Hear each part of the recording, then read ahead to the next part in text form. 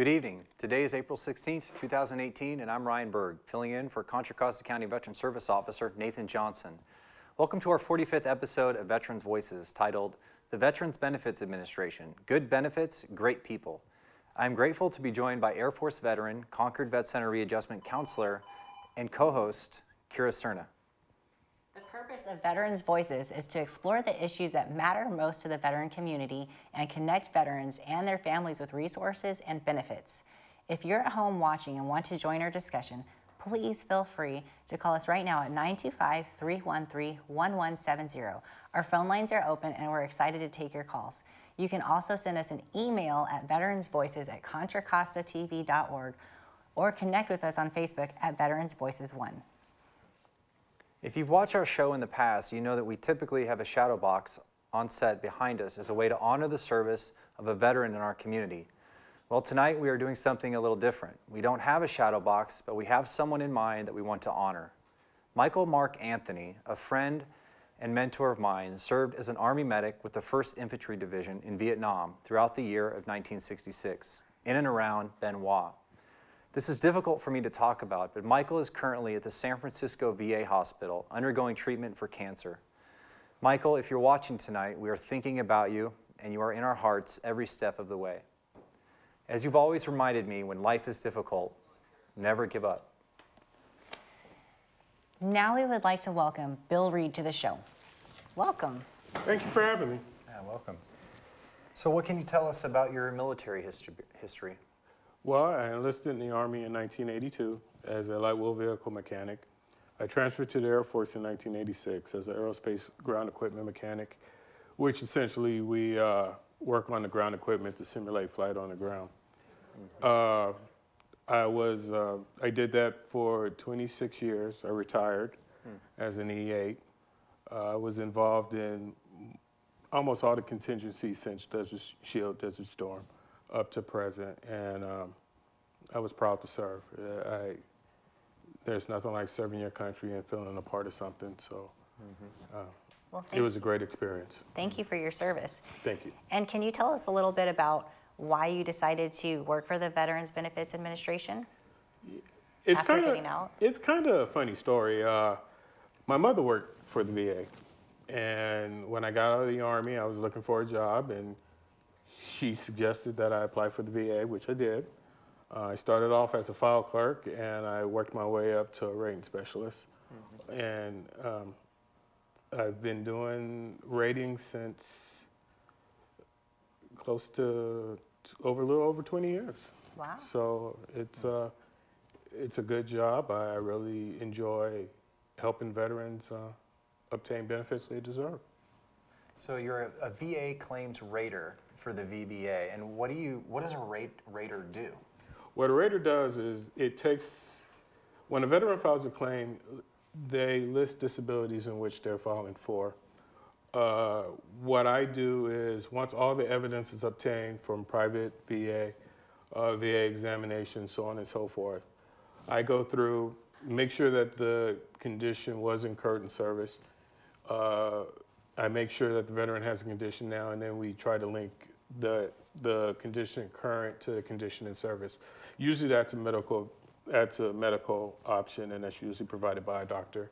And what I do is just essentially find uh, their criteria that we follow in the rating schedule, and by that, I, I, make sure I check the evidence, make sure all that information is there, and I assign a monetary amount or percentage. Mm-hmm. And what are some of the difficulties you face? That must be um, a difficult job with a lot of pressure. What do you find challenging about it? There is a lot of pressure. Uh, the challenging part is now because uh, veterans are falling for more disabilities, and what what happens is that they're far-reaching. I mean, we, we see a lot of TBI, and there are a lot of things that come, or there are a lot of complications associated with, say, TBI, PTSD. Right uh, and other disabilities that we have to try to decipher. But uh, that's probably the most difficult is, is because you're under some pressure to try right. to get the benefits graded. But it's also fulfilling that once you uh, rate the case and, and the veteran gets what he's entitled to. I mean, I think that's, uh, that's what we're there for. Do you have a particular experience of a veteran you helped that um, you found very fulfilling or that sticks out in your mind? Yes, I do. I had a, a veteran who actually was a mentor of mine at Travis Air Force Base, it's Chief Wilkerson. Uh, he's a Vietnam veteran, and he came down with lung cancer, but he did not know that lung cancer was associated with Agent Orange exposure. Okay. And we were able to get him his benefits uh, right before he passed away, unfortunately. So uh, we got him service connected, and his wife was able to get death benefits too as after he passed on. But that meant a lot to me because he was someone very close to me, and uh, it, it, you know, it, it's kind of like paying something back for for someone who was always there for you, and he was always there for me. And you know, I couldn't tell him at the end, but I was glad we were able to work that out for him. What's the favorite part? You have a favorite part of your job, something you really enjoy one aspect? Or? The favorite part of my job is helping vets. Hmm. I mean, we're there to help them get benefits that they're entitled to. And it, it it's fulfilling when you can rate something and, and a vet will say, you know, we, we see situations where veterans are, are down on their luck. I mean, and it's nice to know that they can reach out to the VA. I mean, there's always misnomers about the VA, about what we do and what we, as far as benefits and grant benefits, and, and we don't try to deny anything. Mm-hmm. I mean, I, I think that's one of the biggest misconceptions we have about the VA is about denying benefits. We will try to grant benefits as much as we can, and, and we go through a- any and every avenue we can to do it. So if we're denying a benefit, it's because there, it, it's just no way for us to grant it. Mm-hmm. And, you know, basically the bottom, the short end of that. I mean, so I just want to remind vets that when you do file a claim, there are veterans working your claims, and we've all been through the VA system. So we know what you're going through, and nobody likes to be denied. So we are trying to grant your benefits. Mm-hmm. When I applied for benefits, it was a it was a frustrating process. You know, I didn't know necessarily what to do or how to go about it, and when I did, um, it, it was just frustrating. You know, I was I was I think I was nervous that um, I was going to be denied, and um, just frustrated in general. You know, I, it wasn't actually money that was going to solve my problem Right. anyway, and so I'm, I'm just curious to hear your thoughts. Um, if there's a veteran out there tonight who's frustrated, just frustrated with the process, how might you encourage them? The key word when dealing with the VA and the process is patience. The, there are a lot of there are a lot of things that go into granting benefits or working a claim, and patience pays uh, goes a long way in doing that. I, I understand the frustration, and um, it, it would be good. I always suggest that a veteran would reach out to. There are a lot of services out there to help veterans file claims and to help you do it the right way. I mean, there are Veterans of Foreign Wars, there's the American Legion, there are service organizations such as, so, such as that that can help you file claims and, and get you, I don't want to put it, but more bang for the buck, basically. I mean, you, you, they, the people that help you understand the process, they know what to go through, they know how the system works, and they can help a veteran maneuver and navigate through this maze of, of paperwork and bureaucracy that, that has been labeled with the VA. Um, but I would always say patience is the key. Be very patient. I mean, it's, it's it, it is a, a frustrating process, and, and uh, we understand that and, and we sympathize. But you know, patience does go a long way with this process. And so you've been working at this job for quite a while, Yes. and we hear it can have its challenges at times. How do you yourself find balance to avoid, say, burning out or getting tired of the job? Music. Music? Okay. Do you play music? No, I listen to it on. I, I I'm a, a jazz listener, and I love jazz. And when when times get when we hit that point, you know, I just throw on some jazz and, and kind of close my eyes and, and let it, let whatever is going on kind of just slip right by and um, go from there. It's, it's, but it, it's a very fulfilling job and it's, it's not, it's very rarely that I get frustrated doing it. I mean, it's, you know, you're making an impact in somebody's life and their family and, and, and that in and of itself is a fulfilling part. And, and, and it doesn't create a lot of frustration, but when you do get to those moments, yeah, a good jazz radio station is, is, is something that, that will get me through. Well, I know you guys can get bogged down, but I think the music is, um, you know, a great way to relax and unwind and cope with that. And I know for myself, I have a lot of clients who use music therapeutically as well. So thanks Yeah, for sharing that with Oh, us. Oh, it's, it's awesome, man. It's, um, you know, it doesn't take much time and like I said, you close your eyes, let the music get in and then you get right back to it. Great. Bill, we have a, a comment question uh, we'd like to, to get to. Um, this is for, for you. Um, Bill Reed has helped a lot of people. This is someone that knows you out there. So, uh, what part of your military service uh, has helped you understand a veteran's claim the most? like experiences. As veterans, we all know and we understand what veterans go through. And knowing that helps you empathize with them because you understand what, if, if you came with a claim and, and you were in combat, I'm, I was in a combat zone, I'm not a combat veteran, but I understand what went on. Mm-hmm. And I, you get that like experiences and it, it makes it easy. You, you can understand what they're going through, and you can kind of put yourself in their shoes, and that makes that makes the job a, you know, makes you help them a lot better because you you you feel their experiences. You you know what they've been through. Uh, nobody knows a veteran like another veteran, so it's it's that type of mindset that you go through. Uh, to help out your fellow. You know, we all each branch has a saying about not leaving anyone behind, and that's kind of kind of the model you take at the VA when you're helping one of your own. Is um, I'm not going to leave you behind. I'm going to do the best I can to get you what you want.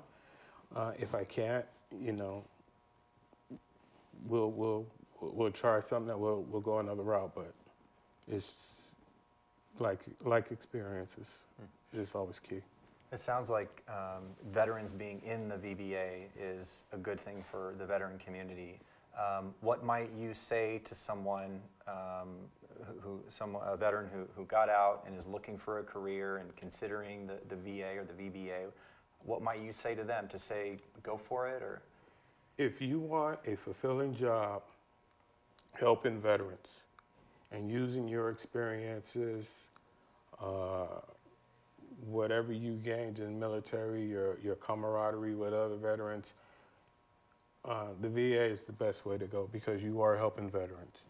You are interacting with veterans. You are dealing, you, you are talking to veterans, and veterans always seem more comfortable talking to other veterans. You know, they can tell you what they're going on because you understand where they're coming from. And I think a job at the VA is is one of those jobs that, I mean, it's something that brings it, it's a fulfilling position. You're helping a veteran get benefits that they truly deserve, and it's, it's nothing best than to be in there for another vet. You know, don't leave a veteran behind. Uh, always have a wingman. All these sayings come into play when you're dealing with the veteran community. So it's, I was, I, any veteran who'd like to, a career, an opportunity, uh, a career with the the VA is, is the way to go. Um, your mother worked for the VA. Um, do you think your mother influenced you um, in, in your career path? Yes, Yeah, how so? uh, probably not directly, but she did. Uh, it was uh, get a job or get out of the house. so, uh, It's always a good motivator. Yeah, it's always a good motivator. So uh, she suggested that I take the test, and I went and took the test and uh, passed. And like I said, I started off in, as a file clerk, and then I worked my way up to through. The, I progressed all the way up to, to the rating specialist, and like I said, I, the rating specialist position is just something I I just love doing, and it's, it's it's a very fulfilling position, and I, I can't. I think it's one of the better positions in the VA. Well, we have another question for you. Okay. Um, this question, this person um, who wrote in anonymously asked, does Bill ever hear from the people he helps? Or is his job mostly anonymous? Actually, I do hear from some, and uh, and that's why I say that the position is very fulfilling, because when you do hear the good stories, when you do, uh, someone says, "Yeah, I talked to Bill." I mean, some people will contact maybe you, maybe someone at the vet center or some other part of the veterans group that helps, and if they say, you know, Bill Reed helped me out, or Bill Reed was there, or, you know, when I needed it, Bill was there. It, that that is one of the most fulfilling parts of the job, and that's that means that shows you made a difference, and that's you know that's what we're all here for. That's what we all strive to do. Would you be able to share uh, briefly a story without, um, you know, breaching confidentiality? Or, Uh, someone shedding appreciation. yeah. I had a um, my uh, superintendent at Travis. He deployed to Iraq, and he came back home and he had some difficulties back home, and he reached out to me and we spoke, and um, I helped him start the process of filing his claim, and uh, right now he's 100% and he's getting treatment for uh, the issues that he had, and his family is doing. I mean, his he's reconnected uh, with his family and he's doing real well. We have lunch every now and then. And again, he, he always says he owes uh, his gratitude to me, but I'm just doing my job. And I, I think I want people to understand that, that I don't do it for that. That's the accolades and the thank yous are, you know, that's not, I, I do my job because that's what I'm supposed to do. I do the best I can with how I administer it, and and hopefully the outcomes are are positive, and then the veteran feels that I did what I was supposed to do.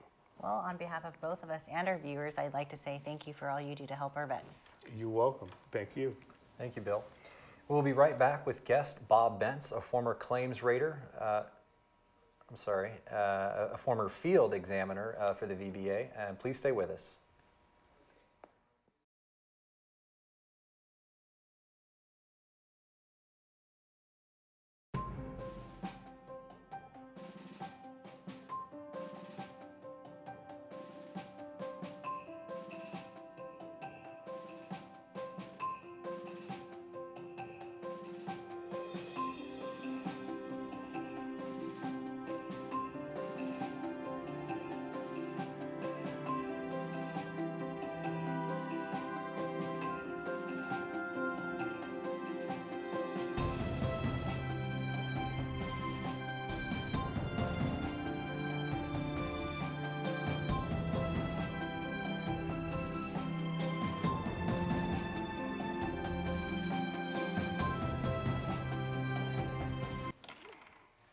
Now we would like to welcome Bob Bentz to the show. Welcome, Bob. Howdy.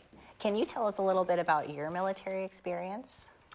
Well, I was drafted. I volunteered for an extra year and got some training as a payroll clerk and thought, boy, I'm going to be perfectly protected. And then they sent me mm-hmm. to Vietnam on Northern I Corps, and I got to find out what minefields look like and mortars and, and all the good stuff.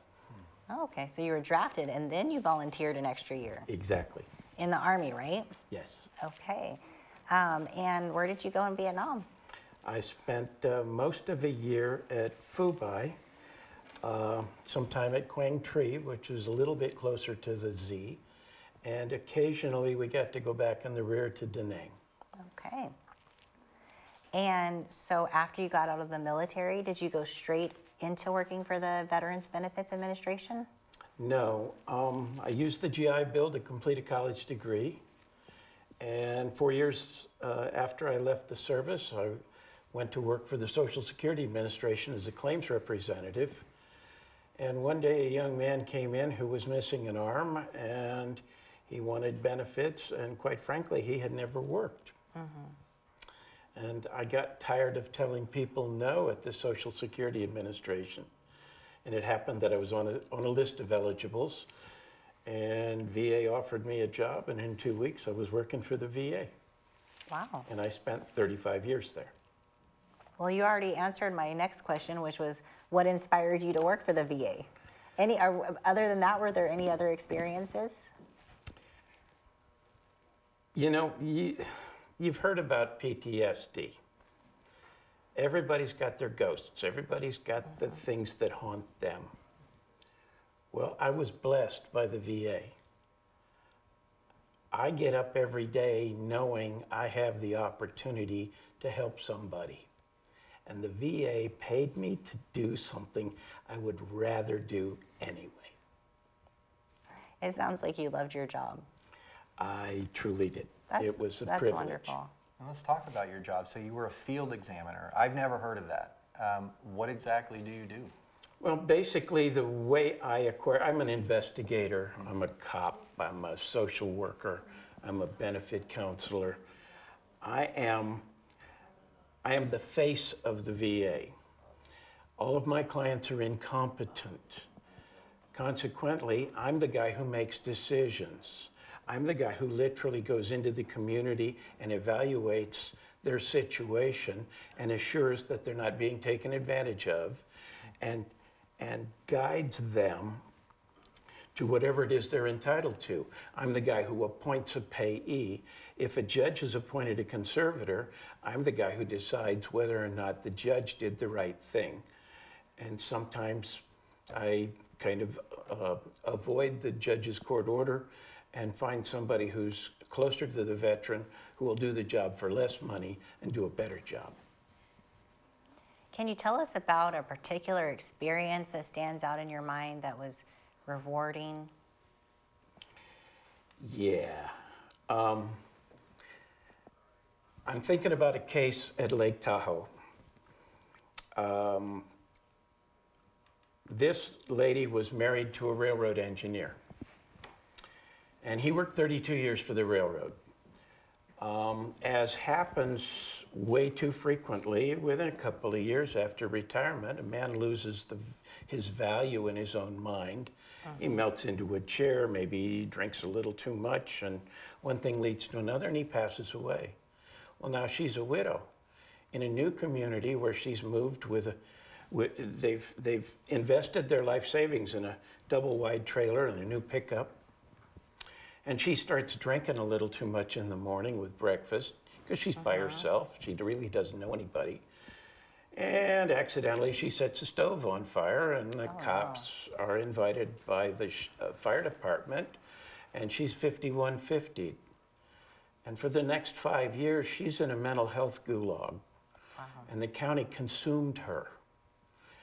And after five years, they invited me to come up and help her out with a widow's pension. They had eaten everything that belonged to her. Wow. She had nothing. Well, I got busy, did a little research, found that they had never applied for her uh, uh, widow's pension with the railroad. She had a pile of money. We're talking five figures here. And I went back to her and said, um, You have a choice. I can get you this pile of money, and you can sue the county, and you got a lead pipe cinch. But quite frankly, why don't you just take this money and get the hell out of El Dorado County and go be whatever it is you want to be? And she said, You blessed me, I am out of here. Wow, that is definitely a life changing event. That's so I it sounds received like a such national award for that. a really wow. Hey, hey, Bob. When we were speaking uh, backstage, you mentioned there's something you'd like to say to veterans, maybe out there watching, uh, in terms of um, maybe what they might be entitled to uh, that they may not be aware of. What would you like to say to veterans at home watching tonight? Let me keep it simple. You served. Were you ever hospitalized overnight? What were you treated for while you were on active duty? Do you have any scars or marks on your hands or face? Did you break a bone? Uh, did you take an extended course of medication? Um, chances are, if you can answer yes to even part of that, you probably have eligibility for a benefit. And more importantly, think about it this way. If you get rated for a what we call a statutory benefit as opposed to a uh, psychiatric condition, then you will have a contributing factor listed on your death certificate that will help your wife as your widow. Wow. Bob, you're a passionate guy. I can tell the moment I met you, the moment I spoke with you on the phone. Um, I'm curious about what really fuels your passion for doing this work. Well, like I said before, PTSD, um, I chose not to have PTSD. I was blessed with the opportunity to help somebody every day. And even though I've been retired for nine years, I still go out there. I'm part of a, a local charity. I'm planning a Veterans Day parade. I've got a project where I furnish homes for homeless veterans. Um, I'm involved in the community giving back to veterans every day because I have knowledge and opportunity. And it's a blessing to me. I don't have PTSD, I have opportunity. We have a question from uh, our audience. Um, Bob, did being a vet help you get the job at the VA, and was there a hiring preference um, because you were a vet? Yes. Um, being a Vietnam veteran, I got a five point preference. I got on a list of eligibles. I went to work for Social Security. I didn't like that job, and they offered me a job with the VA. It took two weeks for me to make that decision. I have one more question. In your view, what is the VBA, what are they really getting right today, and what would you like to see changed? The VBA that I went to work for in 1974 had hundreds of employees, had three or four guys on every college campus. Our job was to expedite benefits for guys who were trying to get paid to go to school. Um, I had the privilege of uh, working for an organization that was largely made up of veterans trying to help veterans. I'm sorry to say that the VA does not meet that standard today. There are less than 15 people uh, detailed to assist veterans in the office today um, spread out across Palo Alto, San Francisco, Oakland, and, and Rancho Cordova. Um, there's not a single listed phone number on the West Coast that a veteran can call for assistance, even though 10% of the veterans in the country live in the state of California. Um, it's embarrassing to me that the Veterans Benefits Division that I worked for my entire career is long gone. And the VA today expects a veteran to come in blind with a completed uh, claim, and he has to rely on a county or on a, on a national service officer from a, an organization recognized by Congress because the VA isn't there to help him anymore. So, what advice if you were to um, suggest some changes in the Veterans Benefits Administration today, what advice would you give? What changes would you suggest? Well, I'd like to see the Veterans Benefits Administration bring back the thing called the Veteran Services Division that I work for. We used to have uh, 20 or more people on an 800 number answering calls just from Northern California every day. We used to have an equal number of people on the floor of the office literally interviewing walk-ins, giving guidance to veterans who needed to file claims and needed advice. The, the law says the VA has a duty to assist, but the VA no longer regards that duty as preeminent. Bob, um, we have another comment from our audience. Uh, you say that a wife, uh, a widow, um, can receive benefits um, when her husband passes, but can a husband receive benefits as well if his wife is a veteran and she passes? Absolutely. I think that's, that's the The, the key is that if the veteran has a service-connected disability, be he male or female, um, and that service-connected disability is listed as one of the contributing factors to his or her death on the death certificate, then the uh, widow is entitled to make a claim for like 1500 bucks a month tax-free for life, including a one-time home loan, uh, including an education benefit, including a number of healthcare benefits. There's a wide range of benefits. What, and, yeah, go ahead. Oh, so it looks like we have another question for you too. Someone wants to know what do you do now that you've retired from the VA? You touched on it a little bit. Can you give us a little bit more details about what you're staying busy doing? Well, like I say, I help veterans every day. Um, for the last six years, I've had a, a, a warehouse at the Port of Stockton. I've collected furnishings, and when a, a veteran, a homeless veteran, gets what's known as a HUD VASH grant, which basically is a subsidized empty apartment, well, I take them out to the warehouse and I hook them up with a bed provided by the United Way, and a sofa, and a toaster, and a coffee pot, and a lamp, and a whatever they need, kitchen stuff, um, stuff for the living room. And I isolate them there because uh, I'm able to assess their eligibility and guide them to the benefits they're entitled to. There's nothing worse than coming home to an empty apartment and have no income. And I'm sorry to say that that's the way the HUD-VASH program works today. VA really doesn't guide the veterans to the benefits they're entitled to. Well, thank you so much, Bob, for dedicating your entire career to helping veterans. Thank you. We want to take we want to take a quick moment to tell you about next month's show. In May, we will be sitting down in the, with the people behind the National Cemetery Administration. The United States National Cemetery System is a system of 147 nationally important cemeteries in the United States. The authority to create military burial places came during the American Civil War in an act passed by the U.S. Congress on July 17, 1862. By the end of that year, 14 national cemeteries were established. A national cemetery is generally a military cemetery containing the graves of U.S. military personnel, veterans, and their spouses. Join us on May 21st to learn more. We will be right back with both of our guests to talk about the rewards that come along with working for the VBA, among other topics.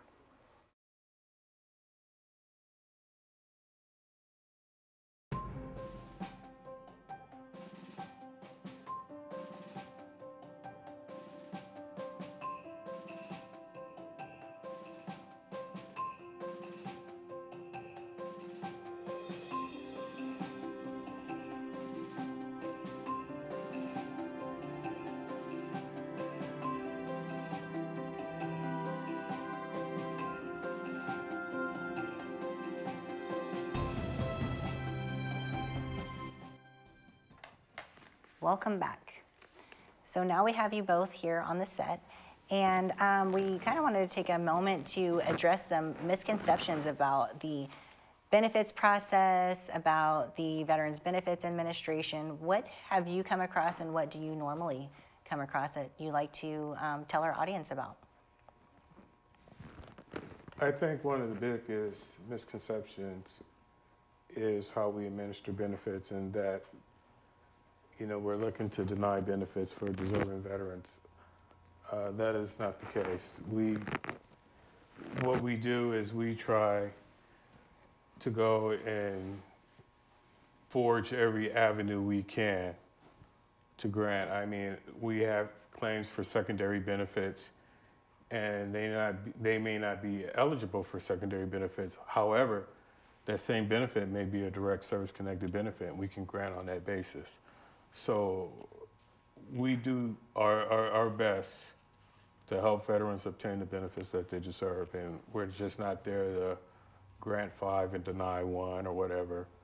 You know, we really work hard. There, many of the people that are doing ratings are veterans, as I said before, and we, we've gone through the system, so we know uh, we know it's kind of, we know it's frustrating, but we do go through every avenue we can to try to grant benefits sought.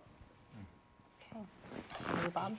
Here in Contra Costa County, you have a very uh, large and effective staff who is highly trained and able to assist you with your claims. Um, in other counties, perhaps you don't necessarily have the same level of service. But there are national service officers, both at the regional office on Clay Street in Oakland um, and spread around the state. Uh, in particular, I use uh, DAV uh, claims rep in, in, in, Rancho Cordova at the alternate VA uh, adjudication site just down the street from the hospital. And uh, she does a hell of a job. She's, she's incredible. Um, it, takes, it takes somebody special for me to trust them with my own claim. Um, you need to talk to somebody who you can trust. And then you need to trust their judgment and instruction and follow through because there are opportunities for you. So, when you say follow through, um, what specifically do you mean? Do you mean filing for the claims, filing for the benefits, following up on them? You have to develop your own evidence. You can't necessarily rely on a VA doctor using a VA protocol to know exactly what the truth of the matter is with regard to your own claim. Mm-hmm. So, my suggestion is you find a doctor that you can communicate effectively with, and you trust that doctor with whatever it is that you have to share, and let that doctor guide you in creating medical evidence. Okay. You can't have an effective claim without, a, without medical evidence. Okay. Well, it looks like we have a question for both of you. Um, someone wrote in anon- anonymously and said, Have Bob and Bill ever worked together? And if so, how did your roles work together? You want me to start up? No, uh, no, I can, I can do my part. Uh, kinda, yes, we worked together, but Bob uh, worked with my mother more so than he did with me. So uh, we had some interactions, but as he said, he was a veterans benefits counselor, and so was my mother, so they interacted a lot. Uh, me and Bob just kind of talked here and there, but nothing, nothing major. I was uh, blessed to be in a, what seemed like a perpetual training mode. So I would move around the building. Uh, at one point, I was the, the uh, chairman of the Committee on Waivers and Compromises, and Bill was a file clerk in that uh, area. Um, at another time, I was in loan guarantee, or I was down in, in veteran services uh, uh, as the operations supervisor. I would see Bill all over the building. In those days, we had 17 floors. Um, the VA doesn't have anywhere near that footprint anymore. So, how do your the roles that you guys work in intersect, or do they? I don't think they do unless he has a question that he that relates to what I do. Um, at most parts, at, at most points, uh, they didn't they don't intersect really at all. Okay. Bob, Some, sometimes the adjudicator will have questions and will assign a field exam for a guy like me to literally go out in the field and ask the question or make the observation, write a report, that gives the adjudicator uh, a little more background, a little more context, so that he understands to a greater extent uh, what he's working with. I don't know in the VA that exists today whether or not that's quite as, as elaborate a process as it used to be. Um, Bob, could you say something more about? So you're saying that a, a veteran could go and, and consult a private doctor and then take that evidence and that consult and submit it to the VA as, as valid evidence? Yes. Um, it's up to you to develop your own medical history. If you were treated while you were on active duty for something, or you were treated within one year after you left the, the service, or in some instances with um, some conditions, there literally are presumptive conditions that you can be treated for for the first time up to seven years after you left active duty. It's incumbent on you to uh, raise the issue, to make the claim, to create the medical evidence, to ask some questions, get some guidance, and take it from there. So I want to build on that, and I have a question for you, Bill, as a rater. When you come across evidence from a VA doctor versus a private doctor, do you weigh, are they weighed any differently? They can be in most instances. Uh, really, what the VA doctor is the here and now. Uh, usually, a private physician does not give us the information we require to rate a case, and that's where the VA doctor comes in. But the private physician does give us some outlook as to the condition, the progression of the condition. Uh, depending on who the private physician is and how long he was treated, he has a better insight than the VA examiner. However, the VA examiner is what his outlook is what we use as far as making our decision as far as uh, rating the claim because they provide us with the information we need to rate the claim. Okay, great. Thank you for answering that question. And we have another question. Um, this is from April on Facebook Live. For veterans who are service connected and have a disability rating, does that prevent them from working with the VA system? No. Absolutely not. Can you, can either of you or both of you tell us what advice you would give to other veterans who are, have left the military, they're looking for work, they want to get into work with the Veterans Benefit Administration? What would you tell them? Well, when I went to work for the VA, you got on a list of eligibles by contacting a government office that gave you a test and put you in a, in a, in a, in a, on a list. And uh, I got lucky and found my way to the VA. Okay.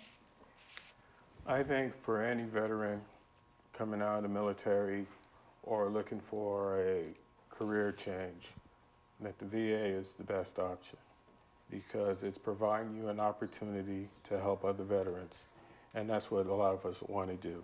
We want to look out after each other and take care of one another. And the VA is, is, is the best option in doing that. So uh, if you're looking for a career change, please come aboard.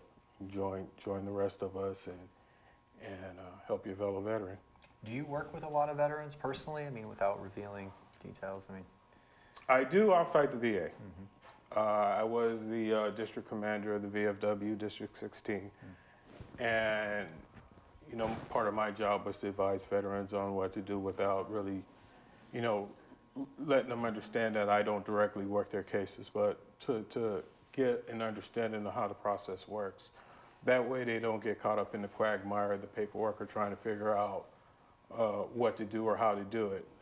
You know, I'm kind of like the resource, and, and I don't mind doing that. I really enjoy doing that because hopefully it makes them feel better about the process, but it makes it easier for the VA to develop the claim because they know exactly what the veteran's claiming. They know precisely what he wants, uh, the situation, and um, it, it, it's a win-win for everybody at that point. Well, we're getting a lot of questions tonight, and I want to thank our audience for sending in questions. Um, this question asks What benefit is underused? Is there a benefit area that more vets should try to pursue? Well, I see a lot of guys who never use their education benefits, which is really the first step of, of, of readapting to civilian life. The government gives you a leg up, and you should take it. Coincidental with that, though, um, oftentimes veterans who have been treated in service for something that they don't really consider uh, that significant. Maybe they got a hearing loss because they're in the artillery. Um, when I served, they didn't give us any hearing protection. And I can assure you, all of us had hearing loss. But you'd be amazed how many guys I see that, that don't make a claim until prompted. I would agree. Uh, GI Bill is probably why do you think veterans aren't using that benefit in your mind? I really can't put a finger on it. Um, you know, I, I, I can I can use my the only uh, scenario I can use is my own. I, I, I already have my degree. Um, before I retired, I transferred my GI bill my GI bill to my children, and my son uses my GI bill. So, um, I mean, different circumstances dictate why why people do or do not use it. But I, I think that is probably one of the most underutilized benefit that veterans have that they don't use. Um, if you had the chance to make the decision to, you know, work for the VBA again, would you? Would you? Absolutely, You betcha. Yeah. absolutely. Um, As long as they let me help veterans. I've had a long career there. Um, I'm happy from for every moment I've been there. I started from the bottom and worked my way to the top, and I enjoyed the journey and I enjoy what I do. Um, it's it's something that's fulfilling. It's something that gi- gi- gives me joy, and like Bob said, it's it's an honor to to help our veterans. I mean, it's it's an honor and a privilege to work for the people who serve this country, and and I you know, even in, in my retiring days or when I leave, I, I still plan on serving service uh, as much as possible. I can't help but think you're probably a lot like your mother, Bill. Yes, me and my mother take some of the same traits. she's she's just nicer than I am. Well, thank you both. Thank you for having us. Next up, honorary devil dog Shauna Springer had a chance to sit down with what Marines call a boot. A boot is a term of endearment for, all, for a U.S. Marine fresh out of boot camp. Let's watch to see what Connor McEntire had to say about his experience of transformation and becoming a Marine.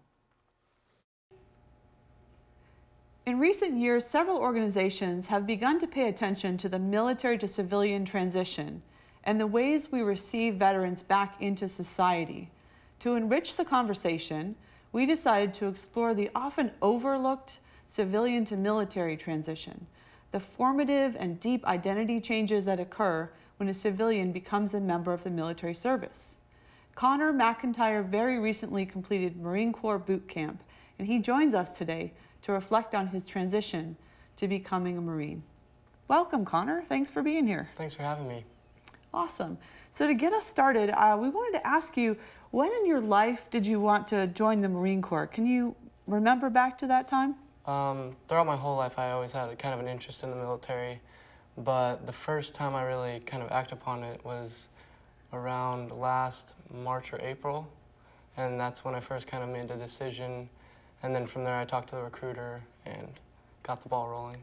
And what was it that prompted you to enlist in the Marine Corps specifically? Uh, at the time, I was in college, and I felt like it wasn't giving me the sense of direction or fulfillment that I was wanting. And um, I knew that the military option would definitely give me that and have the opportunity to uh, carry on the tradition that my uncle was a part of. And your uncle, um, for those of you watching, is um, Nathan Johnson, our own host of Veterans Voices. Yep. So that's it's just so neat to have you here in the studio today, Connor. Um, what was the most inspiring thing that you saw during boot camp? Can you tell us a story? Uh, yeah, so um, the Crucible hike, the Reaper, it's the most challenging, probably once, one of the most challenging parts of boot camp. Um, we were going up the Reaper, and our drill instructors, who for the entire the entirety of boot camp um, had a more of a disciplinary role, and when we were going up it, they were transitioned. They were more of like a motivator, and they were like give us motivating uh, pep talks and things of that. So that kind of like it helped us get up the mountain pretty much. So previously they were really after you all to shape you to be disciplined Marines. Exactly. But just before you became a Marine, they shifted Yes. and got behind your back and encouraged you to, to make that last push. yes, that was probably one of the most inspiring things I've seen. Awesome, awesome. What about the most challenging part of Marine Corps boot camp? Was was that it for you, or were there other pieces that? Yeah, the the crucible was the most hardest part. I'd say the gas chamber was the worst. Mm. That was probably the most challenging, like psychologically, because it, it just sucks really bad. So Where is your mind going when you've got the you know, gas and you're crying and, you know, it's just so painful. It's like pure. It's pure panic, kind of. Okay. Yeah. Okay, so the, the task is to keep yourself kind of in the moment, even though your mind wants to, Yeah. Avoid going internal. yeah, Yep. Because then you're just you're worried about yourself. You're not worried about the people around you. So you have to um, make sure you're keeping a good mindset, mm-hmm. clearing your gas mask, getting back, you know, into the fight. I guess getting, mm-hmm. you know, not suffering from the smoke, basically. Mm-hmm. So you're suffering, but there's a bigger thing there, which is you're learning how to be part of this fighting force. Right. And it's not about you. You know, you're Yeah, really looking out for each other. exactly. Yeah, yeah. Um, looking back, how has the experience of becoming a Marine changed you? Has it changed you in any surprising ways? Um, actually, I would say it's, it's hard to tell because you, you do the transition over 13 weeks, and so I can't, I can't really tell. However, certain people, like my family, they have the like sheer cutoff from seeing me as a civilian and then all of a sudden seeing me as a Marine. So they say that I'm sit up a little straighter, uh, walk a little taller, things of that, a little more squared away, I guess. Definitely. Can you remember some of the values that were sort of part of this experience that are now very important to you as you go forward in life? Um, yeah, the core values honor, courage, commitment, um, also integrity and discipline, those really carry. You know, sometimes people come back from boot camp and they have some pretty funny stories. Do you have any funny stories from your time in boot camp that you'd be uh, willing to share with us? Yes, so it's not really the kind of stories that a civilian would kind of find funny, but it's the kind of story that in the moment, because you're going through all of it, um, it's kind of funny. So, like, uh, I'm not sure if I'm allowed to cuss, but um, We can we can edit it out. So oh, okay. go But, for it. Um, like one, a recruit would go up to the drill instructor and ask, um, ask, hey, uh, or you say, uh, proper greeting, good morning, sir. This recruit requests to make a, permission to make a head call to go use the restroom. Yeah. And the drill instructor would just say f off or something like that. yeah. And it's in the moment, it's kind of funny Yeah. to see. Yeah. You learn to speak Marine, right? Yeah. And at some point you learn that F off means, hey, I got your back, or, you know, you're one of us, or something like that. Right. So part of the transition as well. Uh, now, you've just had an experience of rapid transformation, of being a civilian and becoming a Marine. As you think about that experience, what advice would you give to someone who may be thinking about joining the military? Um, someone who's thinking of joining the military, I'd say talk to a recruiter first and prepare physically. Okay. Um, also learn some knowledge like general orders, rank structure, um, things of that sort. What else? I'd say things So- like that. there's a physical preparation. I'm doing pull-ups and things that you know you're going to be tested on later. But what about the the uh, mental preparation? Because it seems to me that so much of this transition is about getting yourself into a new headspace and holding different values um, as you move forward.